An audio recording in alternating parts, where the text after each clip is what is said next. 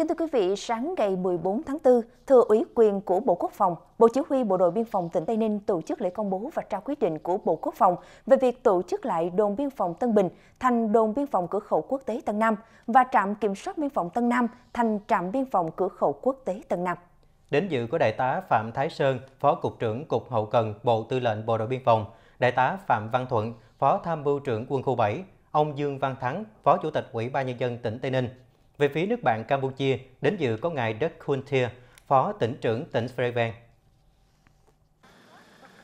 Cửa khẩu quốc tế Tân Nam là cửa khẩu quốc tế đường bộ thứ ba tại Tây Ninh, tọa lạc trên địa bàn ấp Tân Nam, xã Tân Bình, huyện Tân Biên. Cửa khẩu Tân Nam thông thương với cửa khẩu quốc tế Miên Chay, thuộc xã Probao, huyện Kam Chamir, tỉnh Preven, Vương quốc Campuchia. Thời gian qua, tỉnh Tây Ninh đã dành nhiều nguồn lực đầu tư cơ sở hạ tầng, cơ sở vật chất để khu cửa khẩu quốc tế Tân Nam xứng tầm là một cửa khẩu quốc tế. Việc được tổ chức lại và nâng cấp thành đồn biên phòng cửa khẩu quốc tế Tân Nam được đánh giá là cần thiết, phù hợp với đặc điểm tình hình và nhu cầu phát triển kinh tế xã hội của hai địa phương Tây Ninh, Raven nói riêng và hai quốc gia Việt Nam, Campuchia nói chung trong giai đoạn hiện nay.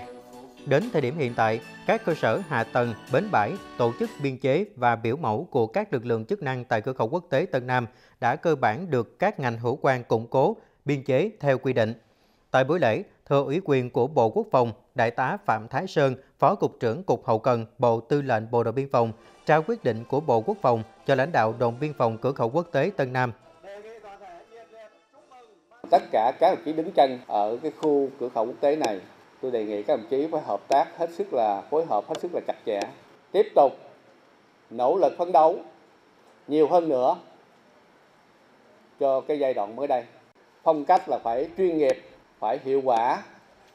thái độ phục vụ là phải tận tình, ừ, tận tụy, à, phục vụ người dân, doanh nghiệp, hoàn thành tốt nhất nhiệm vụ ở một cái cửa khẩu quốc tế. Đối với ban chỉ huy đồn biên phòng cửa khẩu quốc tế Tân Nam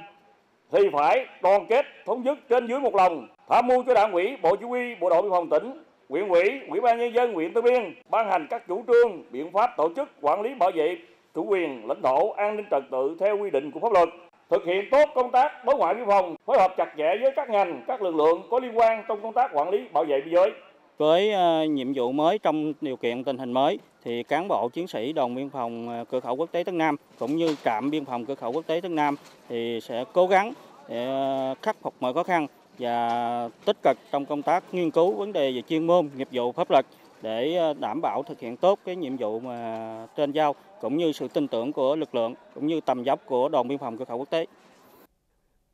Tại buổi lễ, Đảng bộ Bộ Chỉ huy Bộ đội Biên phòng cũng công bố quyết định thành lập Đảng bộ cơ sở đồn biên phòng cửa khẩu quốc tế Tân Nam trên cơ sở nâng cấp từ chi bộ đồn biên phòng Tân Bình trực thuộc Đảng bộ Bộ đội Biên phòng tỉnh, đồng thời chỉ định ban chấp hành đảng bộ gồm 7 đồng chí. Trung tá Lê Thành Nam, chính trị viên đồn biên phòng cửa khẩu quốc tế Tân Nam, giữ chức bí thư đảng ủy,